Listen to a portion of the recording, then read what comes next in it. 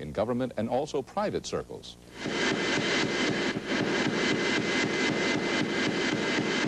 It's called a flash lamp. The device, which is the only one of its kind, removes paint from aircraft. It's the brainchild of a McClellan Air Force Base engineer. The flash lamp is a xenon arc lamp, which is a very common lamp. However, our system is a very high intensity uh, lamp, which uh, when the light hits the surface or the paint, it actually decomposes the paint. And all we have left is uh, gases coming off and some ashes on the surface. The flash lamp incinerates paint at a rate of three square feet a minute. Not only does it work on aluminum, but it works on plastic composite aircraft as well.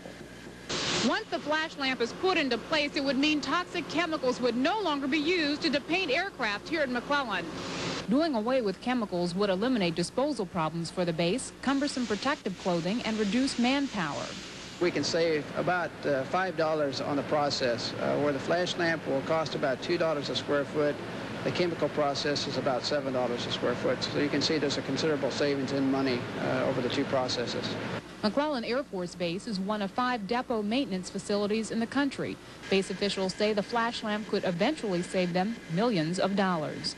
Elisa White, Newswatch 13, North Highlands. When we come back, we'll have some money advice on